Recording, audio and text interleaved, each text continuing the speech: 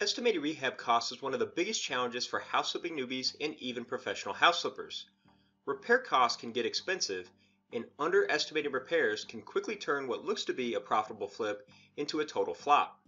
Now that's why we've created our Repair Estimator tool, which helps you organize and streamline the estimating process so you can create detailed and accurate estimates and scopes of work for your rehab projects.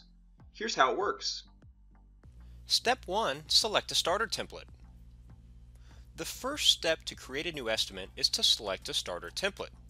FlipperForce comes with multiple starter templates that are pre-built with a cost database of common repairs and unit prices to help you quickly get started estimating repairs for your projects. FlipperForce has a template for estimating repairs by category, estimating repairs by room, and templates for new construction projects. Select the template that you want to use from the drop-down menu and then click Start to load the selected template. Step 2. Input your quantities and adjust your pricing. Once you load a template, the estimator will load all of your estimate categories, which are pre-built with a list of common repairs and unit prices. The estimator essentially acts as a comprehensive checklist that you can use to inspect your property and create a detailed scope of work. As you go through the estimator, simply input your quantities of work for each repair and then adjust the unit prices to fit your local market and your specific project needs. Your quantities will then be multiplied by your unit prices to calculate a budget for each of your repairs. Step 3. Add scope of work notes to your estimate.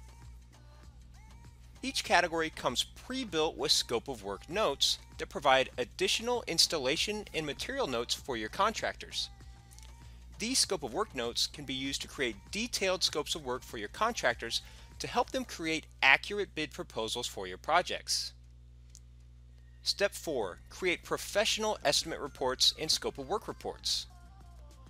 Once you complete your estimate, you can create professional estimate reports and scope of work documents that can be given to your business partners, investors, and lenders.